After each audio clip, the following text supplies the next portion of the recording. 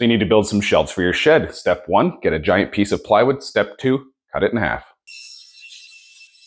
Next, with our circular saw and speed square, we're going to be cutting to length our front and back rails. Next, we're going to cut all of our stretchers. These are the pieces that connect the front and back rails. Now, these are going to be 21 inches long as our shelf is 24 inches deep. That's just 24 minus the 3 inches for the front and back 2x4. With everything cut to length, we can go ahead and mark off both of our back pieces right here because we're making two shelves, all the locations for our braces. So we got two in the middle here and then one at the eight foot mark because our plywood comes in eight foot lengths, as well as the ones on the very end.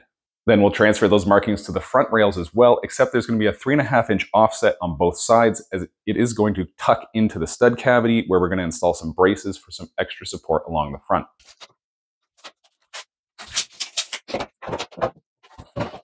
To assemble this, we're just going to use three inch screws, two at each joint.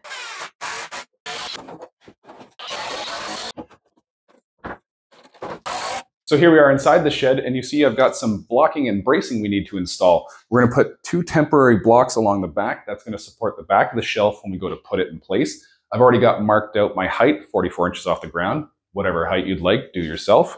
But over here on the side, this is this brace where we made that front rail extra long to go inside here.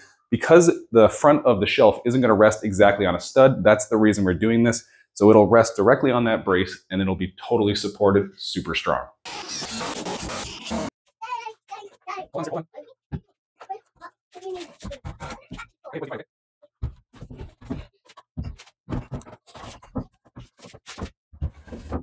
So with the shelf in place, I'm just going to attach it to all the 2x4 studs where I can with 3-inch screws. So now I'll install the other two braces and I'll move those temporary blockings up to the next height and we'll get the next shelf up here.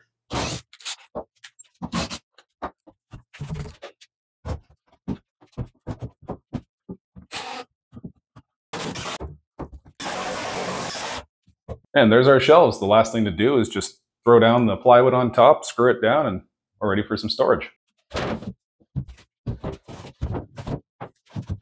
We'll just cut a little scrap piece to fit in there good as gold.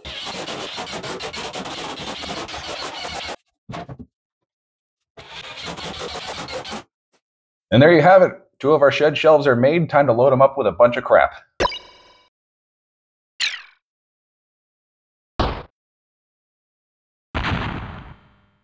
too easy.